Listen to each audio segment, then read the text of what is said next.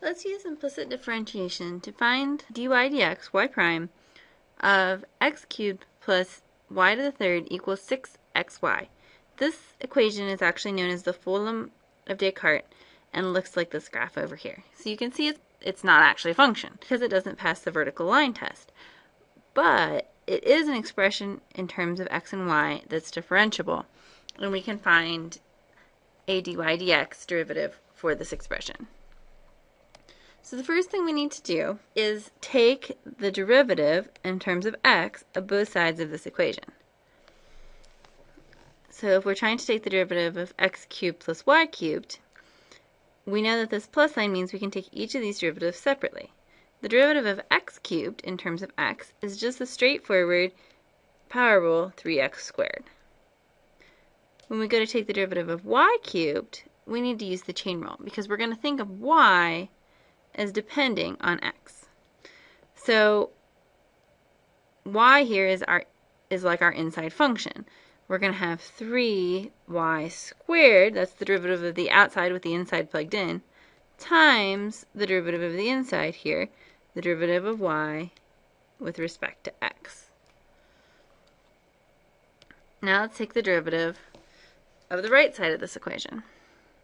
So the derivative in terms of x of 6xy, this side we're going to need to use a product rule because we have 6x which is an expression depending on x, and we have y, which is also an expression depending on x.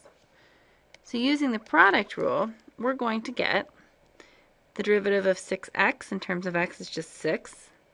We keep the y unchanged, plus, now we keep the 6x unchanged. The derivative of y in terms of x is just the derivative of y in terms of x, dy dx. Now we need to take this expression and solve it for dy dx. This is just straightforward algebra, but sometimes it's a little bit complicated. So let's look at this algebra of solving for dy dx. The first thing is to think of dy dx as its own variable. So this is an equation that has three variables, x, y, and dy dx dy dx is the one that we care about. So the first thing we want to do is move all the terms that have a dy dx in it to the same side. So let's move all the dy dx's to the left side. That means we would have the 3y squared that we'll keep over here. And we're going to move this 6x dy dx over to the left side by just subtracting it from both sides of the equation. That means on the right side we keep the 6y, but we need to move this 3x squared over to the right side by subtracting it from both sides of the equation. Now we have a ddx in every term on the left side of the equation. That means we can factor it out front. So we have dy dx times 3y squared minus 6x equals 6y minus 3x squared.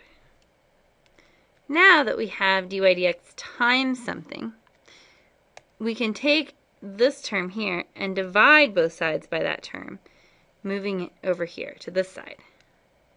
So we're going to end up with dy dx equals 6y minus 3x squared divided by 3y squared minus 6x. Now notice this does not look like our usual equation for dy dx. Usually our dy dx only depends on x. But when we're doing implicit differentiation, we should not expect that. If we only knew x, we wouldn't actually know which point of the curve we were on because there's two points of the curve for this particular value of x and for other values of x as well because it doesn't pass the vertical line test. Therefore, to specify a specific point on the curve of, say, this folium of Descartes, we actually need to know both x and y. Now this does present a problem because we can't just plug in any x and y because that wouldn't make any sense. You have to pick a point, x, y, that's actually on the curve. So like I said, back here for this value of x, you could plug in this point or this point, but it wouldn't make any sense to plug in this one because that's not on the curve. It wouldn't give you information about the slope of the tangent line for this curve in any way. But this right here is our final answer for dy dx using implicit differentiation.